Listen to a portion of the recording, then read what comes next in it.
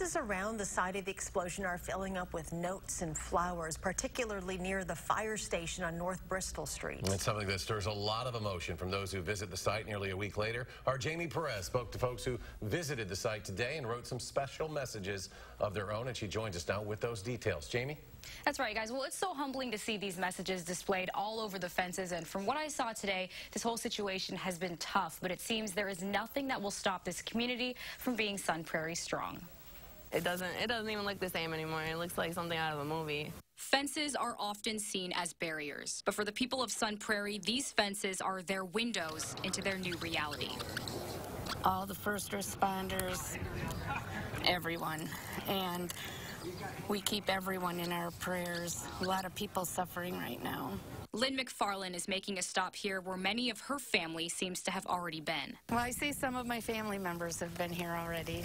Set up right next to Fire Station 1, notes and flowers line the street with a new perspective. And this is the first time I've come down, and it's it's a, a surreal experience. A thousand thank yous from a grateful community.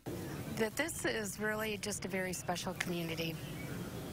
Very special. And a community with a lot of love left to give. You know, right now everybody's just trying to just widen their arms and just big hugs for everybody. Everybody just stand strong and just being for each other. That's it. I worked for a good 30 years in the professional building.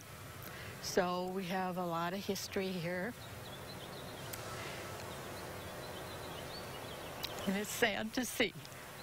Sun Prairie has been strong. There's no question in that. And to all the brave men and women of every end of the spectrum involved in this tragedy, thank you for being brave. Jamie Perez, WISC News 3. And Jamie, there is fencing around that entire explosion site.